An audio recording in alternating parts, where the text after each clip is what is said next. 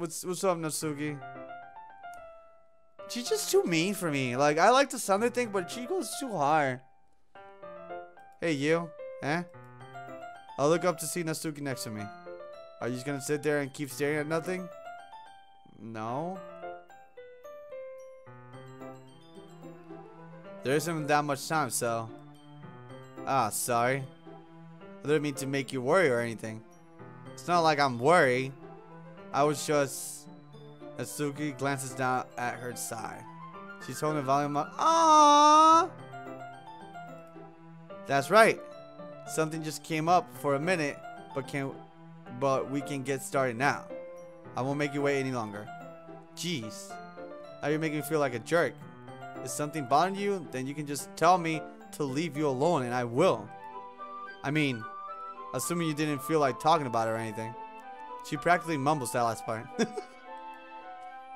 I'm probably making it seem like a bigger deal than it is. I've been thinking about Sayori, that's all. Sayori? Thinking about her? Yeah, she seemed pretty down today. But she didn't want to admit it to me. So I can't help to wonder if something happened to her. Oh. Natsuki SL. Well, first of all, you should be really working on you should really work on your phrasing. What are you fucking talking about? That's the girl that that makes what? Fucking four four word poems? Stop. But anyway. You're you're her best friend, right? I yes. Yeah, I guess so. Yeah. Then in that case, I think you should trust her a little more. You think? Oh, that should be true. I should hear out. She's my best friend. Like, she should tell me. She shouldn't leave me guessing. If she needed you, then you would be the first person she would go to, right? Yeah, that's true. Well, yeah. I mean, some people just have those days. You can't always avoid it. If anything, she probably doesn't want you to worry about her because it's not important. Yeah, that's kind of what she said to me. Maybe it's not right for me to go against her wishes. Exactly. If she needs you to worry about her, then it'll be a lot more obvious. Yeah. I should have thought of it that way from the start. Natsuki fiddles with the book she's holding on in her hands. She? She really means a lot to you, doesn't she? Um, don't get the wrong idea or anything. We've just been friends for a long time. It's not normal. It's normal to be worried about your friends. I mean, you were worried about me, so... I was not! Jeez, if you're fine, then let's hurry and get started already. Oh shit, I skipped one. Whoops. I pull the first volume of Parfait Girls out of my bag. Natsuki takes it from my hands and then quickly turns it over, presumably to check for wrinkles. hey, I'm not that careless. I mean, I, I handle manga all the time, you know. I just wanted to make sure.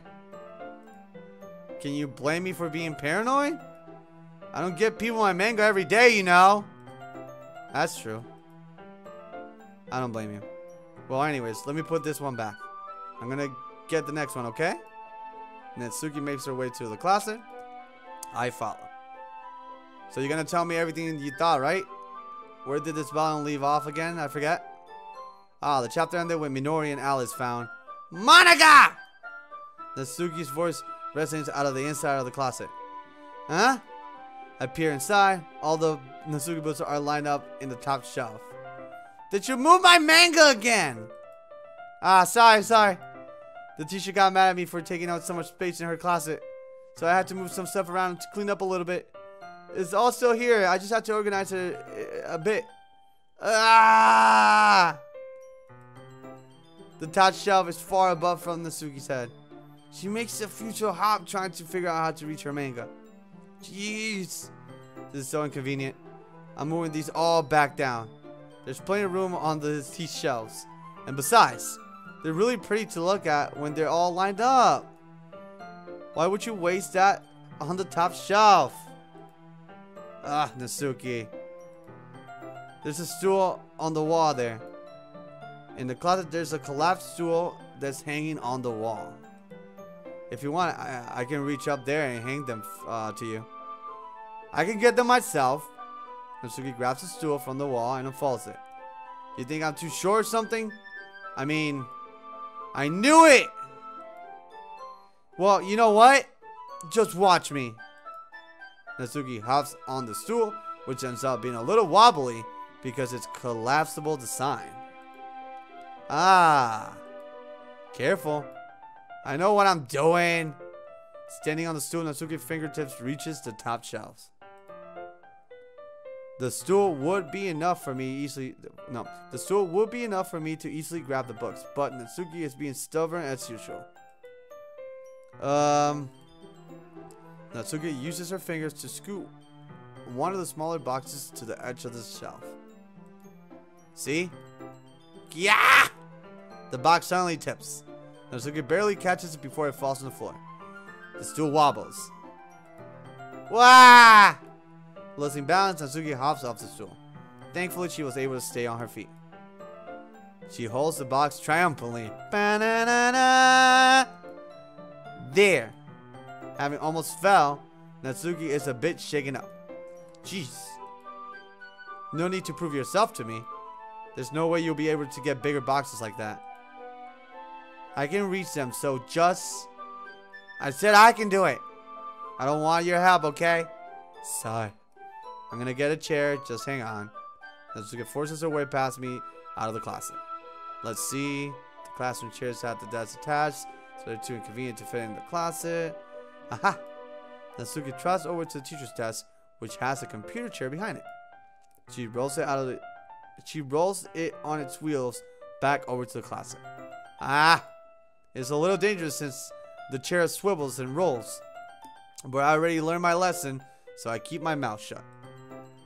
Uh, Natsuki climbs onto the chair, then slowly balances onto her feet. Since she refuses my help, I take a seat with my back against the side of the doorway and simply watch. Oh, shit! Ah, there we go. See? I can easily do it now. Natsuki grabs a stack of manga and bends down to put it on the shelf below. What? What? The chair swivels. Natsuki catches herself on the shelf. What are you doing? Can you at least hold the chair steady instead of sitting and doing nothing? Who was I? Who was it who told me not to help? Yeah, yeah, I got you. I hold the chair while Natsuki reaches back up. I can... I can almost see up her skirt. I shouldn't be doing this. Hello? Eh, eh. Good. I forced myself to turn away. Natsuki seriously didn't think this through. Once she realized I'll be dead. Natsuki wraps her arms around the Parfait Girls box set, easily the largest one on the shelf. Uh, heavy. Hey, Sai. I don't think I can bend down without falling. Hurry, take this one. Eh? But then I have to let go of the chair. That's fine. Just for a second. Hurry. Alright. Let me just stand up. I saw you release my grip from the chair. What do you mean stand up? Natsuki looks down at me. Why are you all the way back? Eh? Natsuki looks like she just realized something, but she'll lose her balance if she moves. Natsuki, Natsuki, the box. What are you looking at?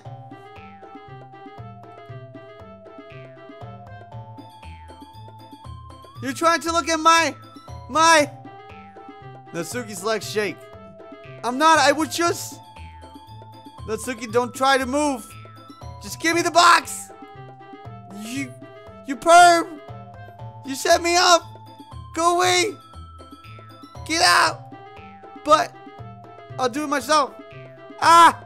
The chair suddenly swivels beneath Natsuki's feet. Natsuki! Ah! The scene turns into chaos for a split second. The chair flies from under Natsuki's feet. Frantically, I try to catch her. The box topples out of her hands and the books go flying. I got you! Ah!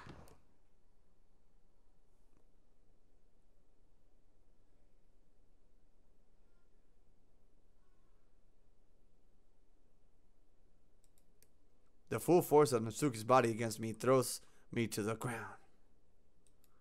A whole bunch of books pelt me in the face. Natsuki tries to shield herself with her own arms as, hers, as her face lands straight onto my chest. Ugh. My right arm and my back seriously, felt the impact. Uh, slowly, Natsuki comes to her senses. Good. She presses her arm straight into my prop, into me to prop herself up. Eh? Natsuki seems to realize that it's not the floor that's beneath her. Good. Gross! Ah! A fist pounds into my chest. Ugh. Natsuki then hoists herself to her feet. What were you thinking? You sicko? Everything okay there? I heard a loud noise. Monika suddenly peers in. Monika! See what happens when you put the manga on the top shelf? Are you trying to kill your club members or something? Jeez! Sorry, sorry. oh, and one more thing. It seems like your most recent club member is a total pervert. So I hope you're happy. I did it! Somehow, it's impossible for me to explain this whole bizarre situation to Monika. I didn't do anything, I swear. I know, I know. Don't worry. Monika says that quietly to me. Looks like I'm off the hook. Oh no! My, my. Huh? I look down. Natsuki is sitting on the floor holding one of the books that, that are scattered all over. There's a large diagonal crease along the page that she desperately trying to smooth out. Aw, that sucks. It must landed on the page. Natsuki tries a bit more to fix the crease, but she can't get it out. Suddenly, she gets up and slams the book shut, then throws it on the floor. Instead of continuing to yell, she just lowers her head. Is she crying? This really means a lot to her, huh?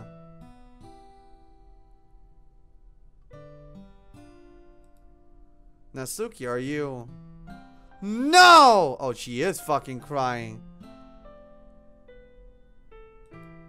Natsuki's voice squeaked. I see tears on her face. Ah.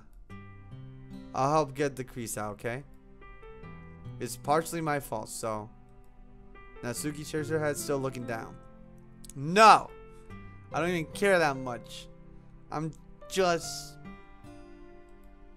Having a really bad day today. Natsuki stops again. Didn't mean to take it out on you. I really didn't mean to.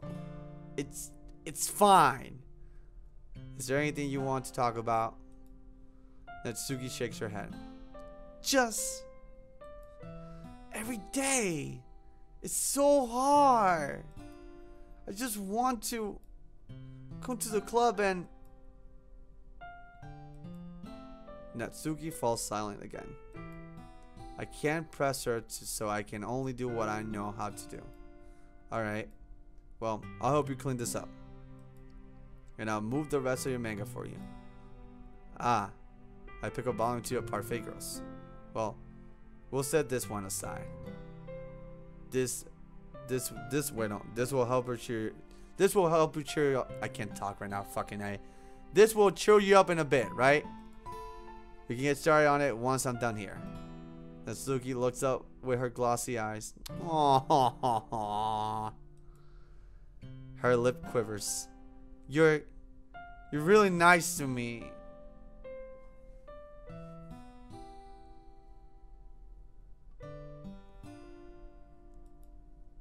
Huh? That sounded really strange coming from Natsuki. I didn't expect that at all. Well, I'm just treating you like a friend, you know? Natsuki lowers her head and stifles another sob. I'm not sure what happened to her today, but being nice is the least I could do. The next couple minutes are silent between us and I, uh, as, as us, I can't read it. Silent between us as I begin gathering the scattered books. I make sure to slip them into a box in their correct order. After a little bit, Natsuki starts helping. It isn't long before we're done and hoist the box onto the shelves where Natsuki wanted to put it. Then I get on the stool and quickly finish moving the rest of the books from the top shelf. Alright. That should do it. I hop off the stool. Natsuki averts her gaze. Thanks. it's nothing. Natsuki is holding the volume I set aside in her hands. Alright, I'm ready. Good. Even if you're ready, I'll make you anyway. You're taking responsibility for what you said. The thing about cheering me up. What? Responsible. Fuck! All these girls are sad as shit! Like, Sayori's getting sad out of nowhere. And she's sad from the gate.